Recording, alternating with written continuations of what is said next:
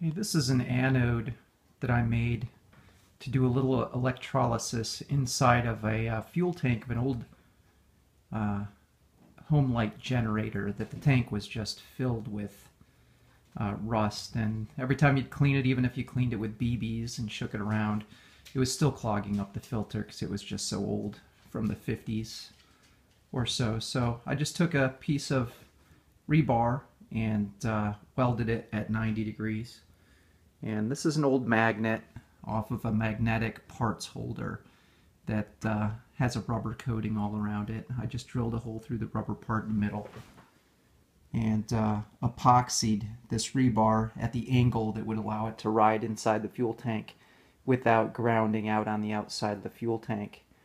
So uh, it's been working pretty well put it in for 24 hours and then pull it out and clean all the rust off. It uh, is amazing how much rust I'm getting off and how many days I've been doing it. It's just incredible. So I'll keep doing it until the rust is gone and uh, I'll give you updates on that. Okay, this is the fuel tank that I'm doing the electrolysis in. You can't see it's too dark, but it's just full of full of rust. I have a battery charger there. I just keep it on the uh, 2 amp setting and uh, here's my anode. So this is pretty much how it works.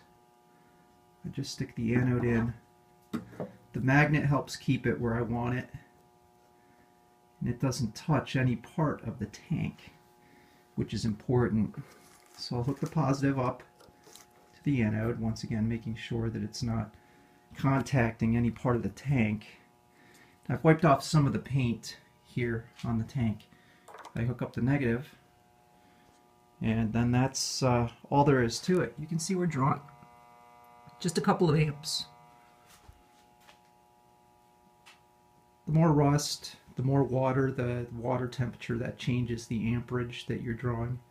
But uh, that's it. So just the opposite of electrolysis in a bucket, but uh, using the uh, rod as the anode and then the tank is the uh, is the cathode. So I'll let you know how it works out, give you some uh, video on that.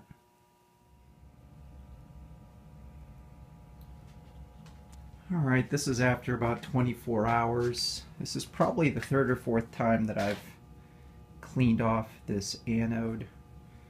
So we'll uh, take a look and see if we're still getting rust.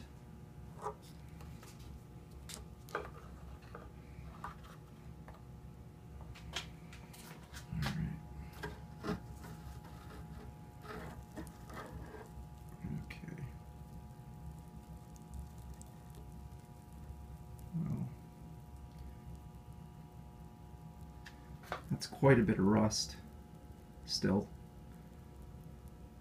That's just crazy. You can see that's what it started out as a piece of rebar. It's just welded to a 90 degree so it can get into the tank. You can see in the tank there's a slurry. So what I'll do is I'll clean this anode off and uh, stick it back in the tank and uh, continue doing this until I get all the rust out. Okay, here's an example of a couple of electrolysis tanks that I have just for uh, getting rust off of certain different types of uh, parts, different sizes. First one I made was a five gallon bucket and you can see there's rebar all around. The electrolysis only works on line of sight.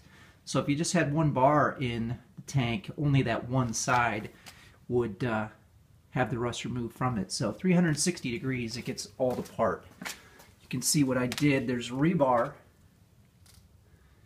and welded to the outside is a bolt with a nut on it. And they're all daisy chained together to make one contact point.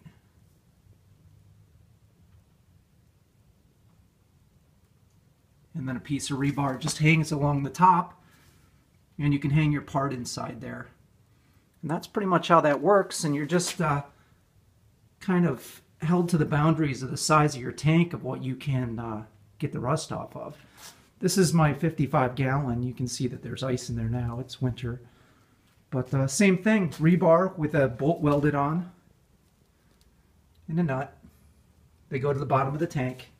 And then you just hang your part from uh, the bar that goes across the top. What I use is Arm & Hammer washing soda. And I just use about one tablespoon per gallon of water.